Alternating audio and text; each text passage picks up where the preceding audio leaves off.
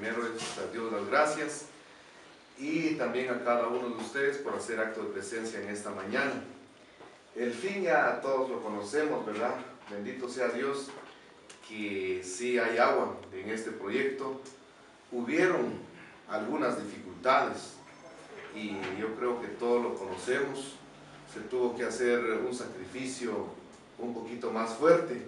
Y hablo directamente de que se encontró roca, ¿verdad? Que ustedes manejan bien esos términos, este tema, y eso hizo que se prolongaran los días, ¿verdad? Que, que, se había estipulado, creo que de 20 a 30 días, pero al final, ¿cuántos días? Este, fueron como 40, 45 más o menos.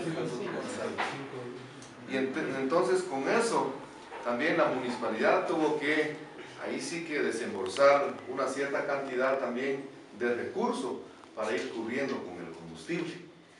Entonces, eh, a lo que voy es que uno es, lo interesante es que sí logramos, ¿verdad? Este bendito líquido.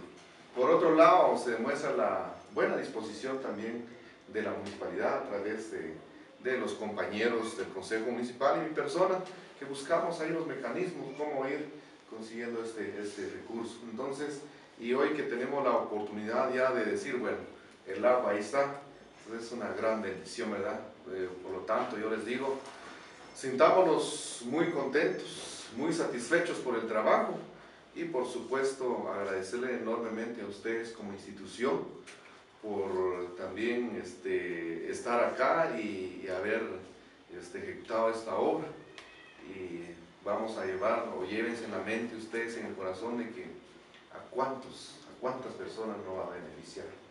Este, ya los niños, este, las mujeres que principalmente desde que se levantan, ¿verdad?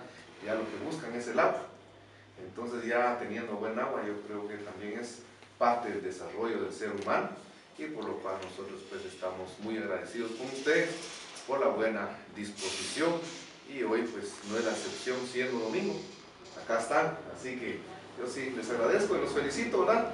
Y que en el caso nuestro pues así lo hemos venido trabajando también cuando hay necesidad yo he dicho, no hay horario, ¿verdad? Entonces, así que bienvenidos a, aquí a Shatzán Bajo nuevamente. Y alguien de ustedes que tenga algunas palabras, como decía nuestro alcalde auxiliar, mientras este, ellos se preparan para eh, platicar un momento con la gente también, dejando algunas recomendaciones y parte también de lo que llevó esta obra, ¿verdad? Para que ellos también puedan valorar este, tanto el proyecto como la gestión que se ha hecho a través de las diferentes instancias. Así que, bienvenidos. Si tienen algunas palabras, por favor, bienvenidos.